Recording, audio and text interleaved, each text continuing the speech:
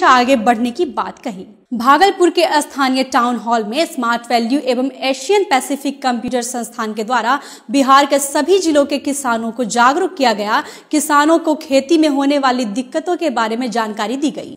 कम पैदावार होने के क्या कारण हैं? कम लागत में ज़्यादा पैदावार कैसे करें? साथ ही किसान परेशान होकर आत्महत्या क्यों करते हैं? विषय पर जानकारी दी गई। स्मार्ट वैल्यू की ओर से आयोजित इस कार्यक्रम में कीट विशेषज्ञ doctor Wajid Hasan, plant pathology expert doctor Mohammad Ansar व मिट्टी जाँच विशेषज्ञ डॉक्टर महेंद्र सिंह ने किसानों को जानकारी दी।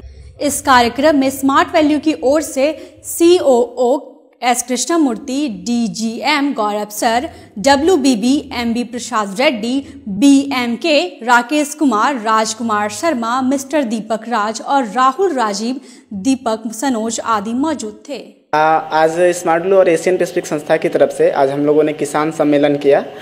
जहाँ पर साइंटिस्ट के द्वारा किसानों को खेती में होने वाली दिक्कतों के बारे में जानकारी मिली, जहाँ पर कि कीटनाशक और आज के डेट में किसान लोग जो आत्महत्या कर ले रहे हैं परेशानी के कारण तो वहाँ पे हम लोगों के द्वारा और साइंटिस्ट के द्वारा थोड़ा बल भी दिया गया। और साथ ही साथ बताया गया कि कम पैसे में कैसे हम अपनी उपज को बढ़ा सकते हैं, इन सब चीज़ों के बारे में आज वहाँ पे जानकारी मिली, जहाँ पर कि बिहार से लगभग सभी जिलों से किसान मौजूद थे लगभग 500 की संख्या में, और हमारे स्टूडेंट भी मौजूद थे तो काफ़ी सपोर्ट मिला हमारे स्टूडेंट के द्वारा। भागलपुर के सेंडिस कंपाउंड जयप्रकाश उद्यान सह सेंडिस कंपाउंड विकास समिति के बैनर तले निःशुल्क स्वास्थ्य शिविर का आयोजन किया गया, जिसमें मधुमेह सहित